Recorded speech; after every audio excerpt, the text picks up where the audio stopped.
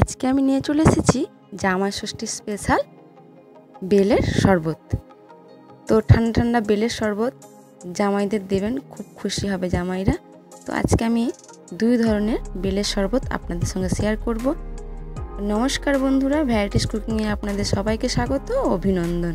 তো চলুন, তো প্রথমেই এখানে আমি বেলটা ভালো করে ধুয়ে নেব। তো আমি এখানে একটা বেল নিয়েছি। তো এখান থেকে আমি দু গ্লাস বেলের শরবত বানাবো। তো প্রথমে বেলটা আমি ফাটিয়ে নেব। দেখুন। তো এবার আমি ফাটিয়ে নিয়েছি বেলটাকে। তো এর মধ্যে থেকে আমি বেলের কাঁধগুলো একটা জায়গার মধ্যে বের করে নেব। একটা আমি বের করে ফেলেছি, আর একটা আমি বের করে নেব। তো এই গরমে ঠান্ডা ঠান্ডা শরবত সবারই ভালো লাগে। তো একবার বাড়িতে বানিয়ে খাবেন। আশা করি আপনাদেরও ভালো লাগবে। বেলের কাঠটা আমি বের করে নিয়েছি, তো এবার ভালো করে হাত দিয়ে ম্যাশ করে নেব। তো ম্যাশ করে নিয়েছি, যেহেতু এখানে আমি দু গ্লাস শরবত বানাবো, তো এখানে আমি দিয়ে দেবো দু গ্লাস জল। তো প্রথমে এক গ্লাস জল দিয়ে ভালো করে একটু চটকে নেব। তারপর আরও এক গ্লাস জল আমি অ্যাড করব।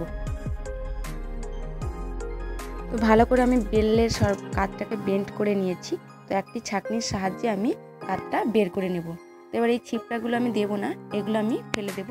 তো এগুলো বেলের শরবতের মধ্যে থাকলে বেলের শরবতটা খেতে ভালো লাগবে না। তো এর মধ্যে আমি দিয়ে দেবো চিনি। তো যে যেরকম মিষ্টি খাবেন, সেরকম চিনি দেবেন। কেউ কম মিষ্টি খেলে কম চিনি দেবেন। তো এখানে আমি একটা গ্লাস নিয়ে নিয়েছি। তো প্রথমে আমি বানাবো নিম্বু পানির স্টাইলে বেলের শরবত। তো তার জন্য আমি প্রথমে দিয়ে দিলাম চার টুকরো বড় লবণ। তো এবার আমি দিয়ে দেব চিনি দিয়ে মেল্ট করা বেলের পাল্পটা। এবার উপর থেকে নয় থেকে দশ ফোঁটা লেবুর রস আমি দিয়ে দেব। দিয়ে পুরো মিশ্রণটা আমি একবার মিক্সড করে নেব। তাহলেই আমাদের রেডি বেলের ঠান্ডা ঠান্ডা নিম্বু পানির শরবত। তো এরপরে আমি দ্বিতীয় নম্বর শরবতটি বানানোর জন্য আর একটি কাঁচের গ্লাস নিয়ে নেব। তো এখানে আমি দিয়ে দেব প্রথমে গুঁড়ো দুধ। তো এখানে আমি দু চামচ মতো গুঁড়ো দুধ নিয়েছি।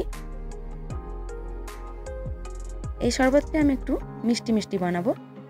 এর মধ্যে দিয়ে দেব চিনি দিয়ে মেল্ট করা বেলের পাল্প দিয়ে ভালো করে মিক্স করে নেব।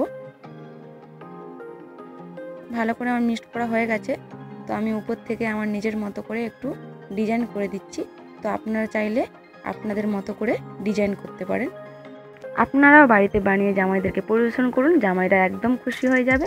তো আজকের মতো এই পর্যন্ত, সুস্থ থাকবেন, ভালো থাকবেন। আমার রেসিপিটি যদি আপনাদের ভালো লাগে লাইক শেয়ার কমেন্ট ও সাবস্ক্রাইব করার অনুরোধ রইল। আবারও দেখাবো অন্য কোনো রেসিপির সঙ্গে। নমস্কার।